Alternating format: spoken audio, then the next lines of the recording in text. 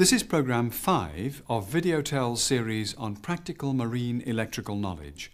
The series is made up of eight programmes. Programme 5 deals with the lighting circuits, the navigation light circuits, the steering gear pump motor feed circuits, the galley equipment and other ancillary circuitry, such as the general and fire alarms, other alarms connected with unattended machinery space operation, UMS, and the ship's cathodic hull protection. We end with emergency batteries. There are many system variations around, so it's most important that you become familiar with the components of the electrical system and the layout of the main switchboard immediately you join a ship. Pay particular attention to the layout of the emergency switchboard. This study will pay dividends during a blackout or when troubleshooting the cause of a major breakdown. Now we must emphasize electrical safety.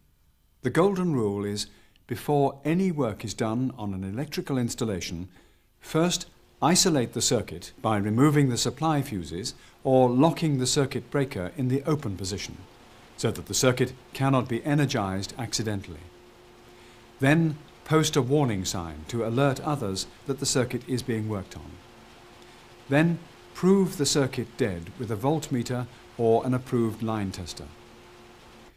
A switchboard can never be considered dead unless all AC generators connected to it are stopped, locked off, and all other supplies are disconnected. These points can never be emphasized strongly enough. The electrical rescue procedure is described in Programme 1 of this series. We begin with the lighting system on board ship. The lighting circuit on board ship is usually 220 volt or 110 volt AC supply, provided by a set of step-down transformers connected in delta-delta. On the rare occasion when one of the three single-phase transformer units may develop a fault, it can be disconnected by first removing these primary fuses, then removing the secondary links of the phase affected. The transformers will still provide the voltage of 220 or 110, as the case may be, but at a reduced power, at about 60% of rated output. This state is called the open delta connection. The supply voltage in a single-phase circuit on board ship with an insulated neutral electrical system is measured not between a line and a neutral, as on shore side, but between two lines. All the miniature circuit breakers or fuses in the system, therefore, interrupt both live lines in a low voltage circuit. Also, double pole switches must be used to isolate feeder circuits from the live lines. Never replace a double pole switch by a single pole switch in such a circuit. Whatever task you may undertake on board a ship, you will need light when you carry it out. Because of the varied illumination levels needed, a number of different light sources are used. Fluorescent or incandescent lamps are used in a variety of fittings.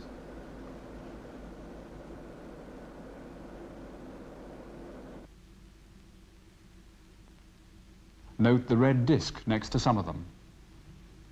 These are fed from the emergency switchboard or batteries. For illuminating larger areas, mercury or sodium lamps are used in a number of different fittings. No lamp should be changed while power is connected to them. This is especially true in the case of sodium lamps. They work with very high voltages. Also, when you're changing quartz iodine lamps, do not touch the quartz envelope of the lamp with your fingers, as this will shorten the lamp's life and lower its efficiency. There is a whole range of fittings, weatherproof, explosion-proof, or both, which are used in hazardous areas, some of which are seen here. The essential thing to remember is that the flanges of the weatherproof fittings normally hold a weatherproof gasket between them but the explosion or flame-proof fittings must have a flame path clear between the flanges without gaskets or paint obstructing it. Some lighting applications provide very large areas with a prescribed light level. 50 lux for instance, for safe cargo working at night on deck areas. The maintenance of the fluorescent lighting involves the replacement of the tubes, checking and replacing the starter unit, and occasionally checking the choke unit for burnout or open circuit. The cathodes of a suspect tube can be checked for low ohm continuity with a multimeter. The same applies to incandescent lamp filaments. After the tube is replaced, clean the diffuser before refitting it. Servicing hazardous light fittings with special flanges, seals, screws, nuts and glass covers is a more exacting job and is described in detail in Programme 6. There are also light fittings which include their own battery power supply and provide emergency lighting for a period of about three hours when generated power fails. The model seen here has its own battery charger system built in. This will keep the batteries in fully charged condition.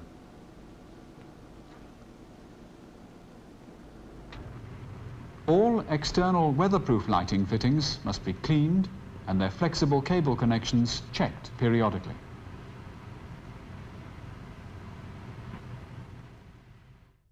This brings us to some special light circuits, the navigation lights and the not under command or NUC lights. A number of different types of navigation light panels exist, but they will normally have a mains changeover switch and other switches for connecting a single light in each pair of lights at each position to the supply. This drawing shows the required feed circuits for the navigation lights, coming from two different distribution boards. One fed from the main switchboard the other from the emergency switchboard.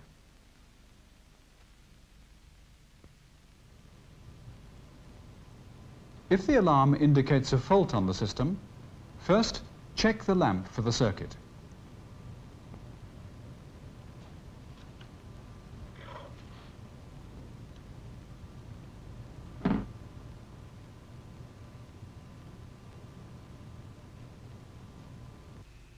If the lamp is healthy, check the fuses, the module boxes,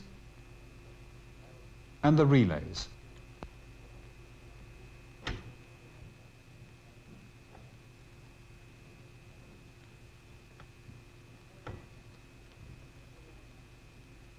Periodically test the not under command lights on the main mast. Both the mains and the emergency supplies must be fully operational. Among the most important circuits on board ship are those which feed the steering gear motors.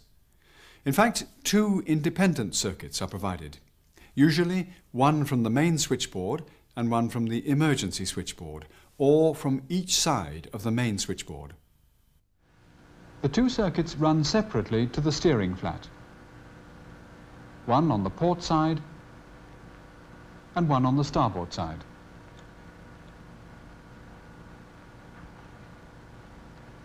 Both steering gear supplies can be switched to either motor via a changeover switch. And both motors have stop-start facilities at the steering flat and in the wheelhouse.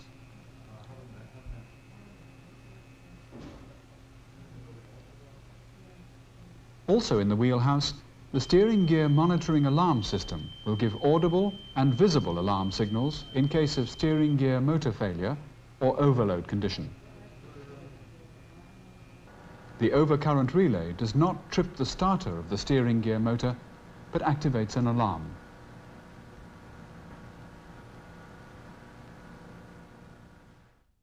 All these circuits use thousands of meters of cable of different sizes and design.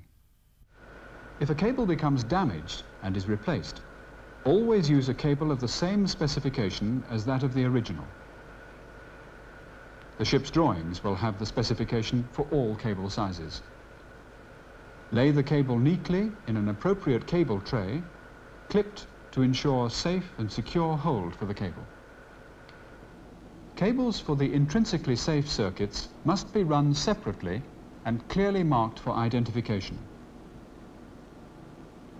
Here, color coding has been used. Also, these cables should cross power cables at right angles, and the screen should be earthed at the supply end only. Now, some may argue that the wettest and greasiest place on board ship is the galley. Working with electrical equipment there needs extra care for safety. The electrical power in a galley is largely absorbed in producing heat in deep fryers, ovens, hot plates or water heaters.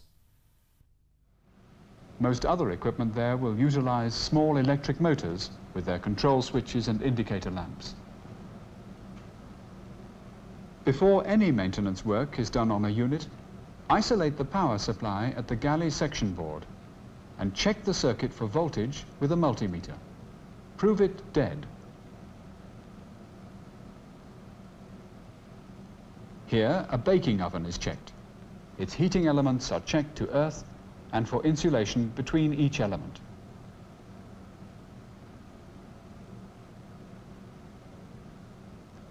Now a heating element in a galley range is checked.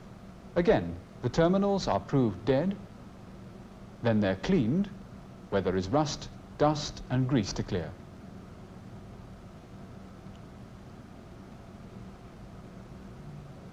The heating element is checked for earth fault as well as for continuity.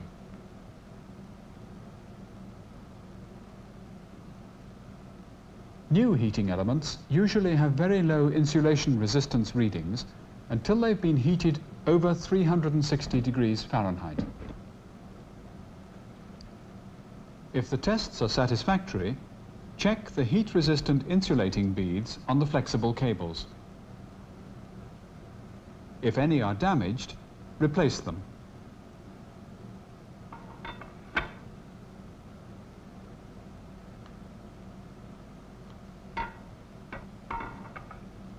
Carefully feed the cables through the porcelain insulating ring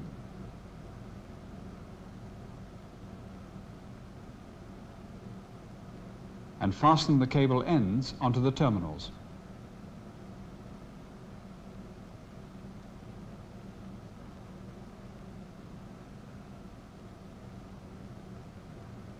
Ensure that the connections are tight. Now let's have a look at some ancillary circuitry, such as the refrigerating plant, alarms, and emergency stop buttons. First, the refrigerating plant. The refrigerating plant for the meat room, the flour room, and the vegetable room is controlled via a common panel. This panel houses the relevant direct online starters, which connect the appropriate motors to the supply when activated by a thermostat. In case of malfunction, check the thermostat and the solenoid valves for correct function. These sometimes get stuck in a closed or open position.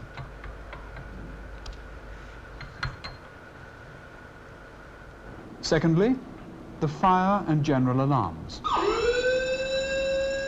The general and fire alarm system must be checked periodically, ensuring that the various sensors for detecting smoke or fire are functioning correctly. If a unit becomes faulty, replace it according to instructions supplied by the manufacturer.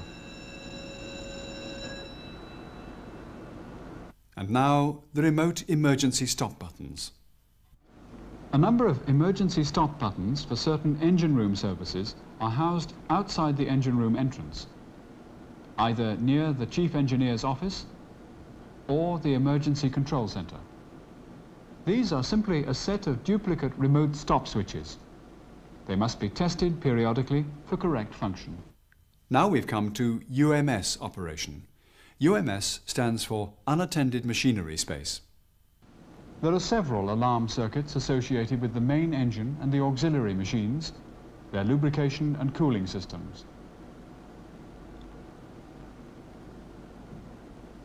Their operation is dependent on a series of pressure switches, flow switches, level switches, or temperature switches, which must function correctly for the ship to remain in classification. These are usually set and tested at the periodic engine survey and should only be touched if malfunction occurs. test the circuitry for open circuit or short circuit, and replace any faulty sensor unit or switch. There are also duplicate bilge pump alarms which form part of the UMS monitoring system. These must also be checked periodically for correct function by manually overriding the switches. Now, the ship's cathodic hull protection. The ship's hull protection system is made up of a number of low-volt DC anode points round the ship and two or more reference anode points on port and starboard. The DC negative is connected to the hull. This drawing shows a typical layout of the system. Periodic checks must be made on the level of current prevailing at each station and the data recorded for comparison and early detection of any undesired hull condition.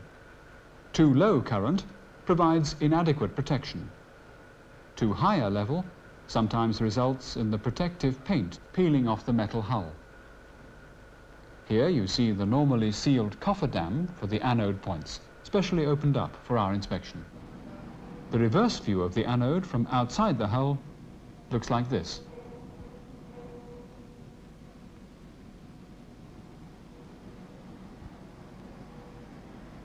While the reference anode looks like this. Check the earthing of the main propulsion shaft. Ensuring that the carbon brushes are in good condition.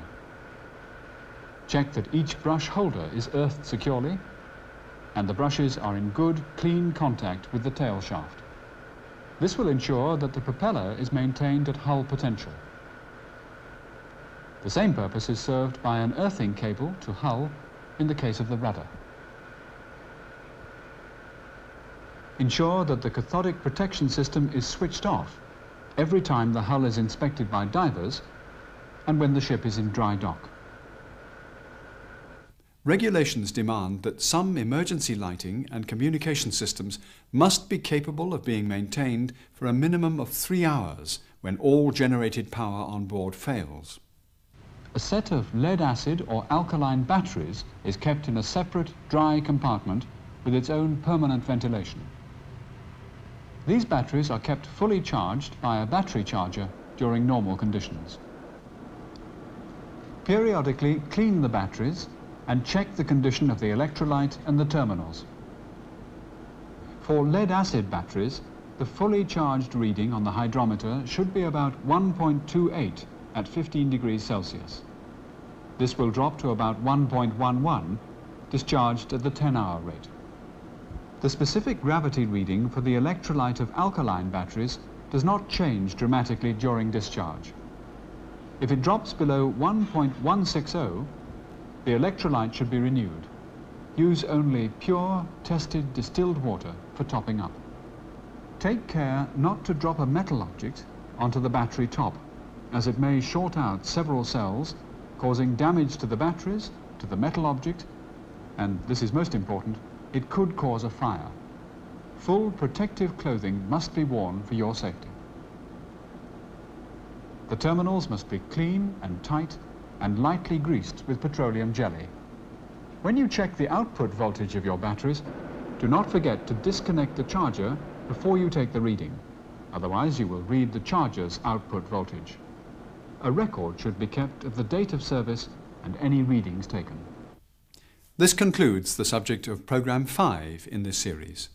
In this programme we dealt with the ship's lighting, navigation lights, not under command lights, steering gear motor feed circuits and cabling, and we saw electric heating elements being serviced. We discussed the refrigeration equipment and dealt with a series of alarm systems. In conclusion, we dealt with the subjects of cathodic hull protection and emergency batteries. We recommend that you watch this program again and that you consult the book Practical Marine Electrical Knowledge, which accompanies this series and will allow you to study certain aspects in greater detail. Finally, here's a list of contents for all the programs in this series.